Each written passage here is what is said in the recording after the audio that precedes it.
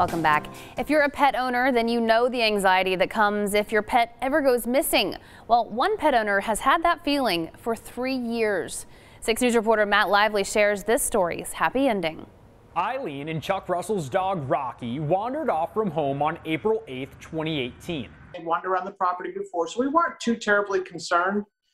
Um, until it got dark and he didn't come back, but my other dog did. Um, we put uh, posters all over the neighborhood, rode around on my ATVs, rode around in the car. The search efforts were all to no avail. The Russells kept looking, but Rocky wasn't showing up. They had to accept a hard reality. So my assumption at that point was because we live in the country and there's a lot of coyotes, coyotes had probably gotten him. Now fast forward to just a few weeks ago. Someone found a 15 year old dog lying on the side of the road. He was taken to the Humane Society of Central Texas, but it was clear that the animal was sick.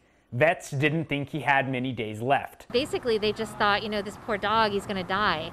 And so they said, you know, maybe we can just get him into a foster home just so that the end of his life won't be spent in a shelter. They gave the dog to Old Souls Animal Rescue. And this is when the story takes a twist. He made a recovery one good enough to share on social media. We put that post up, and just a little while later, this woman named Eileen sends us a message and said, I think that's my dog.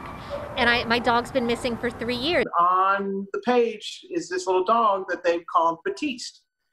And I'm looking at it, I'm like, he sure looks like Rocky. And she sent us some pictures of him from years ago, and it was 100% her dog. Not everyone was so sure. I said, Is this Rocky? And my immediate response was absolutely not. Rocky's dead.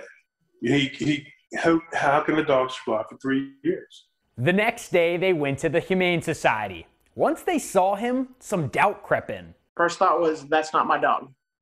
because he has shrunk so much. He's so much smaller. But then Eileen felt a knot behind his ear, one she knew Rocky had. I was like, this oh is him. Because, I mean, I was having doubts. When I sat down on that floor, I was like, I don't know if this is my dog.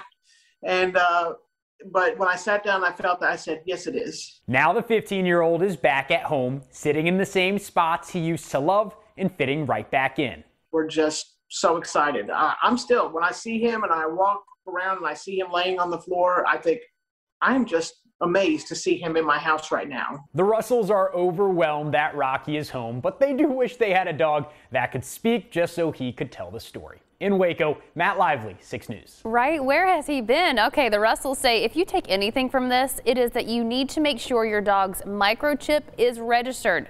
Rocky's wasn't, and they say this whole scenario may have been avoided if it had been. So microchip your dog, and make sure it's registered as well. But man, where has that guy been? I don't know. I'm glad he got back home though, Andy.